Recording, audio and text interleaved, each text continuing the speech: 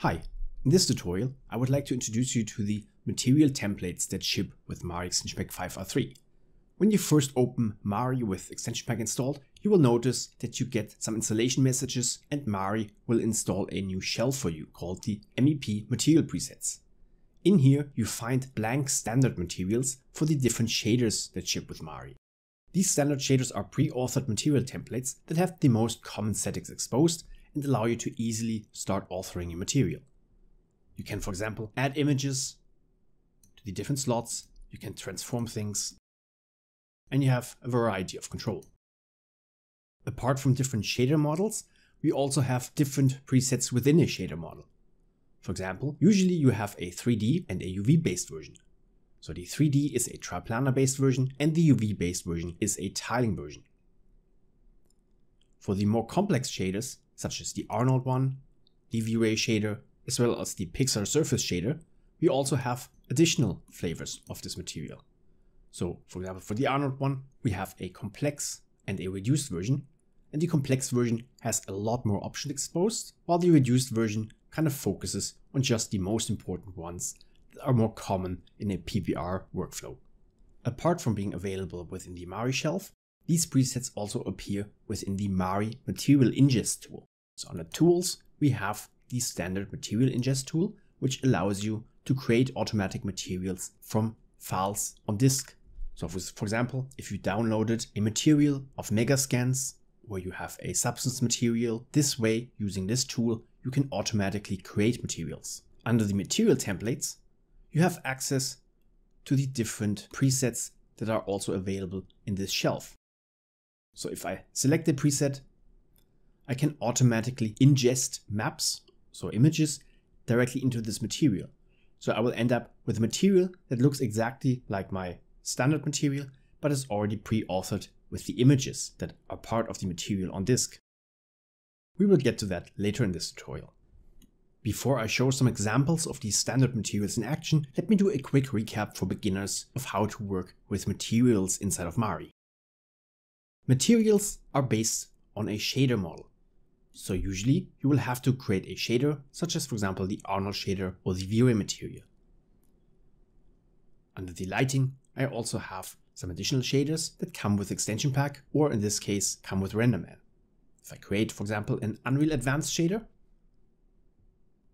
in order to use this shader with materials, I will need to assign channels to it. So for example, if I want to use the base color in my material, I create a new channel. I set my resolution, etc. And I repeat this process for the other channels. You can use standard presets, so you don't have to always do this, but this is not really part of this tutorial, so I would advise you to search a little bit in the Mari help for that, because you can easily create a standard project that already has all your channel assignments. If you're in the node graph, you can also create channels using the Mari extension pack, create channels for Node tool, and there's a separate tutorial about that one. Usually what I do when I author these materials or when I want to work in a material workflow is I create my channels and I disable the slots of the shader that I will not use. For example, by default, the displacement will be deactivated in all shaders, and I can also deactivate the vector slot, the emissive color, etc we take a look at the Arnold standard surface that I already preset up, you can see I have a lot of channels already assigned that I automatically created with the node graph create channels from node tool. And then I went ahead and deactivated the different streams that I know I will not be using. This is a small performance optimization because this way Mari will just have to evaluate a lot less inside of the shader. Once you have a shader set up and have your channels assigned, then you're ready to use the materials in a layer workflow. If I go to a channel, so I'm now in a channel that is assigned to the Arnold Standard Surface shader, you can see all of these icons appear and I can toggle, for example, a stream on and off for this material. If you click directly on one of these channels, you will jump to the channel that is assigned to it. So here I'm currently inside of the bump channel, which I call BUP. So this is my naming convention for my bump channels. If I click on the diffuse color, you notice I jumped into the diffuse color channel. So if I take a look here in the channels palette, I'm now in the diffuse color channel. So this is the Mari way of jumping around inside of the layer stack while having a single material that sits inside of all these channels. Now in order to use this workflow inside of the layer stack, all I have to do is drag in a preset into the layer stack. It doesn't really matter in which channel you are because the channel will propagate across all the different channels that are assigned to the, to the shader. So let's drop this in here. And now I end up with a new blank material that I can author to my preference. So let's do something with this quickly. I'm not going to use any images for now. So instead, I'm just to set a diffuse color. You can also have hue control. I'm to change this to metallic. And I'm to quickly assign a roughness map to this. So I'm to go to my images, find my specular roughness, and I will just assign a grunge map that I will call from the grunge shelf that also comes with extension pack. So I'm just going to click on one of these and by clicking on it, it will automatically get loaded into your image manager. And then I can just drag it in here. And now I have this map assigned. Obviously it's scaled too big. So I would step to my transform control. So I have transform triplanar and transform UV in this case because it's a triplanar version of this material. And then you can change, for example, the world scale you can also set your cursor inside one of these fields and just use the arrow keys up and down and change the scale this way. So you have a lot of transform options here, also about for the UVs. And here we have a simple standard material.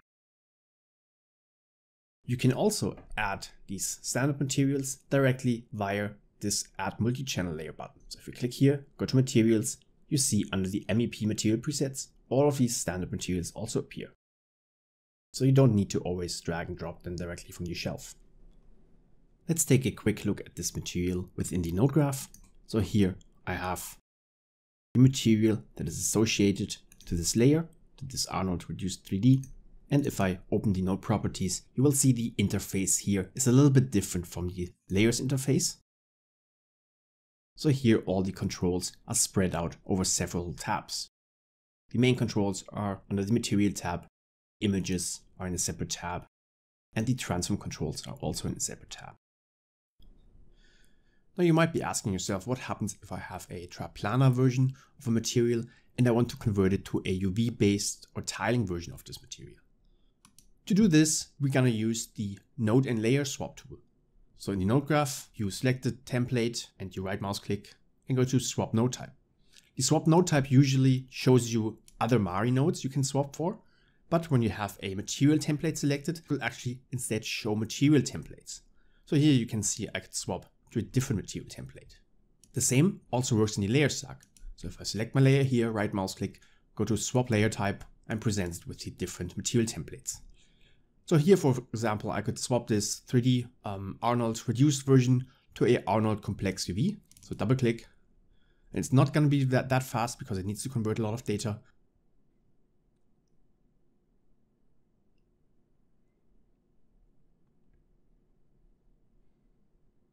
And here we are. You can see I now have the Arnold complex UV preset instead of the triplanar version. And everything has been transferred as good as possible not just as good as possible, but fairly accurate. Um, one thing also to mention is that using this method, you can actually convert in between shader models. So if we go to swap layer type, you can see I not only have the Arnold versions available, but also other versions. So obviously there's going to be some conversion back and forth between different model types or different shader types. Like the shader types won't exactly look 100% identical necessarily, but the tool will try and do as much work for you as possible. In the last part of this tutorial, I want to show you an example where I ingest directly into a material preset. I also want to point out some limitations of the material ingest tool and how to work around them. As you've seen earlier, I can choose all these presets directly in the material template dropdown. If I choose the Arnold reduced version, so I'm gonna pick the UV version, the shader model updates correctly to Arnold standard surface and I get all the available streams that are exposed in this preset. As you can see here, some of these streams are disabled.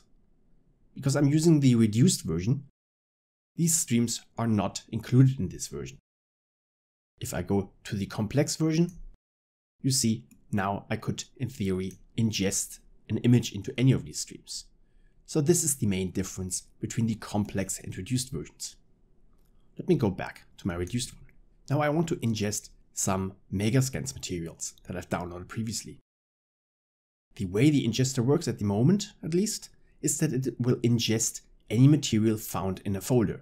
So unfortunately at the moment you cannot directly specify which of your materials on disk you want to ingest, which is why in my case I created a subfolder where I put in the two folders with materials that I want to ingest. Because otherwise, let's say you have a Megascans library of several hundred, hundred materials, Mari would go through the entire library and batch ingest all materials. I'm gonna choose the Quixel preset, which is equivalent to the Megascans preset. As you can see, my naming patterns have been adopted to conform to what is usually exposed by Megascans. When I start ingesting a material, Mari will check if it can find the appropriate file for a stream. If it doesn't find a file, it will override it with its own color.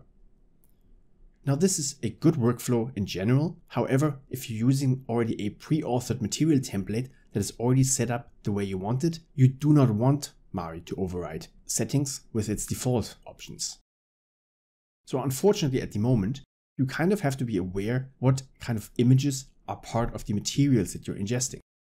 So for example, for the Megascans materials, I know that I have usually no diffuse weight, I don't have a metalness, and I don't have a specular IOR, no specular color, no specular weight, and I also don't want to use the bump map in this case.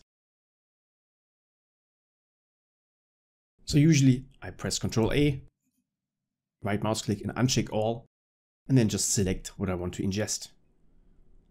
So again, specular roughness, displacement, normal. That is basically all I need. However, I usually also assign my ambient occlusion to my diffuse weight and to my specular weight.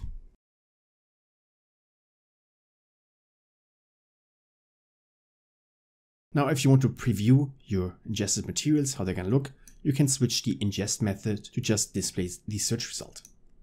Now, if I do a find materials, Mari will preview what it can find on disk in your material folders. So here you can see I have a map against the diffuse weight, which is my AO, the albedo, spec weight, color, and roughness.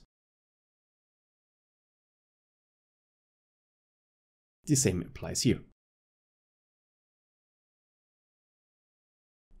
Double check my settings, and I'm gonna turn my ingest method to build materials in project. Create materials, and Mari will go ahead and build these materials for me. As you can see here, I now have my two materials created. And if I just create a blank new Arnold standard surface shader,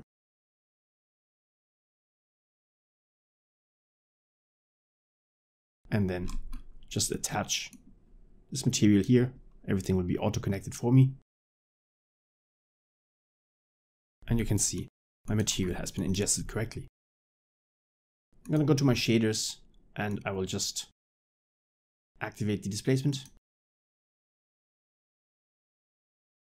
And it's going a little bit crazy. So first off, I'm gonna switch to another default object Let's go back to my shader palette. So that was the wrong one. Let's go to the Mari surface tab and check our settings. So these are settings that always appear for my Arnold standard surfaces. So you can see I have a high tessellation and some other settings. And I usually save this once just by right mouse clicking and saving a shader preset. So this way my Arnold standard surface will always comes in pre-configured like this.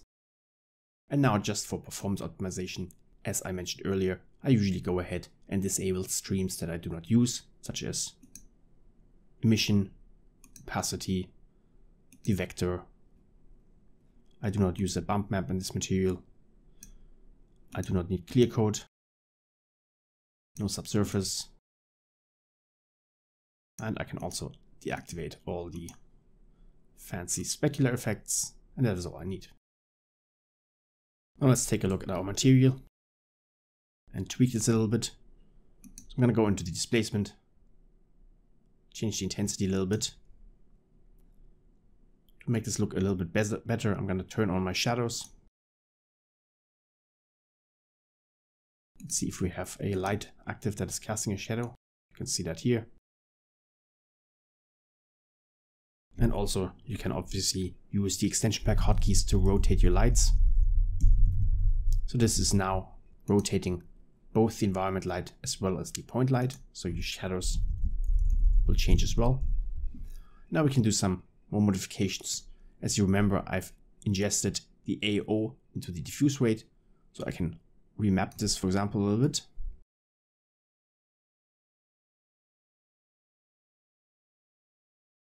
I can also go to the specular and remap the roughness a little bit. It's a lot more muddier. Let's bring the intensity down a little bit. And one nice little features of these pre-authored materials is, for example, that they have an auto scale. So usually if I were to change the repeat, let's say I increase the repeat to 5, the material becomes quite spiky. However, if I turn on the auto scale option, the material will stay exactly the way you authored it regardless of the repeat. So you can see the relative depth of the features will stay constant.